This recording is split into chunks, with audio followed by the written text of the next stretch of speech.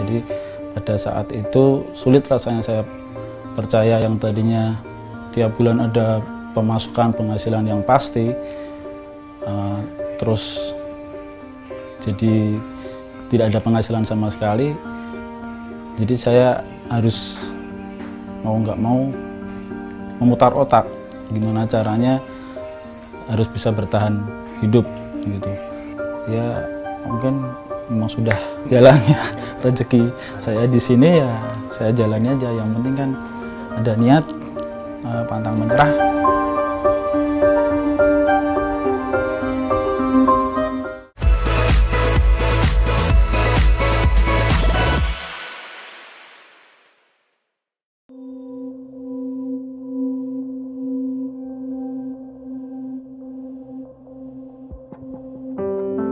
Nama saya Muhammad Usan Ardian Purba, biasa kerap dipanggil Ucok.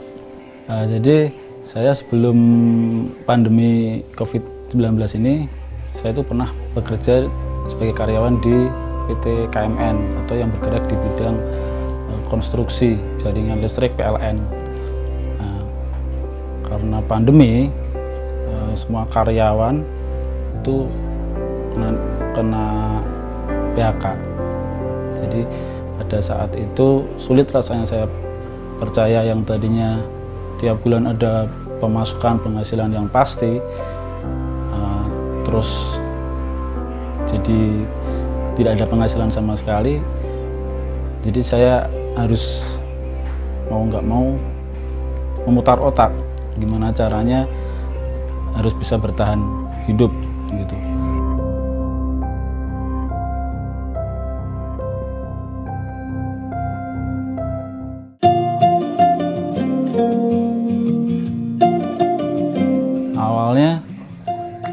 Karena saya waktu itu kebetulan juga hobi sepeda ya. Saya aktif di komunitas sepeda Magelang sepeda lipat. Saya ketemu sama teman. Teman saya itu memakai helm vintage sepeda itu. Terus saya melihat oh ini sepeda kok oh, ini kok helm kok antik juga ya. Yang saya saya pinjem. Terus saya teringat akan Mas Joni. Saya mencari Mas Joni terus saya datang ke rumah Mas Joni Mas saya punya ide nih saya ada helm kira-kira Mas Joni bisa nggak bikin helm seperti ini? Gitu. Di waktu yang bersamaan Mas Joni juga kebetulan pas pendapatannya juga tidak pasti yang tadinya uh, dia bikin service jok di pinggir jalan terus sekarang pindah di rumah. Terus sama Mas Joni coba dibikin awalnya sih kurang rapi ya tapi karena beberapa kali terus dibikin jadi rapi ada awal temen terus tertarik untuk membeli.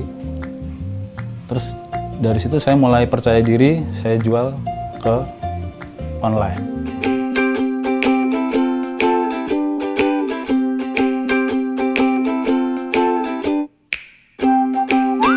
Sebelum pandemi saya uh, servis jok pembuatan cover jok sepeda motor mobil kursi di Jalan Pahlawan lingkungan Potro Bangsan tapi di jalan di masa pandemi ini saya kena dampak dari harga kontrakan yang masih tinggi tapi omset menurun drastis. Jadi kalau buat kontrak lagi saya nggak cukup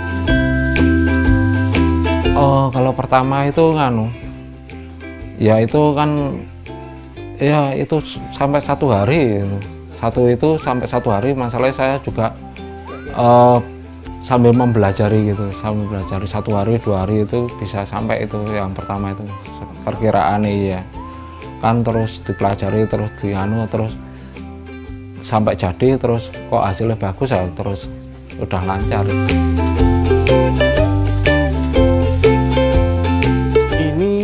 dari kualitasnya lumayan oke okay lah. Untuk modelnya oke okay juga. Terus ringan yang terpenting tuh ringan nggak terlalu membebani. Safety juga di sini.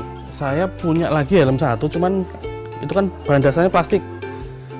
Agak masih agak berat tapi yang ini ringan. Sama sirkulasi udaranya lebih enak ini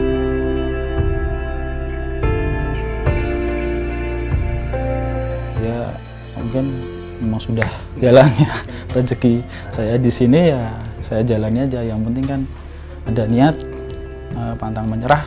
Saya salah satu korban PHK efek pandemi COVID-19 tetap semangat pantang menyerah dan berani berubah